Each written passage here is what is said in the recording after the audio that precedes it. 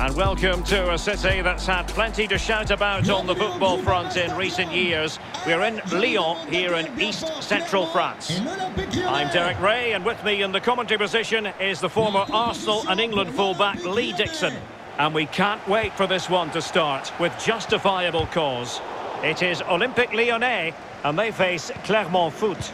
Thanks, Derek. Yeah, really looking forward to both teams producing entertaining football. Let's see if we get that.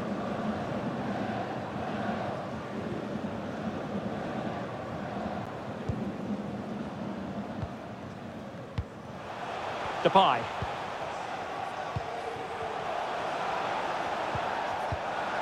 Well, they get the ball once more.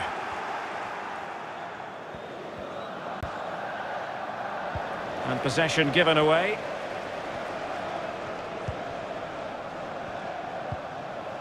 Depay. Mastery of the passing game. Maxence Caqueret. Given away by Olympique Lyonnais.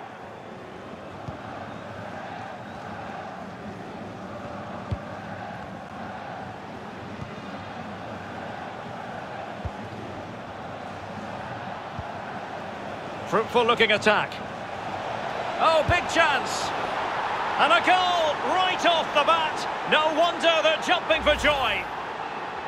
Well, here's the replay, and it's a decent move to evade the defender, and he chooses to use power in the finish.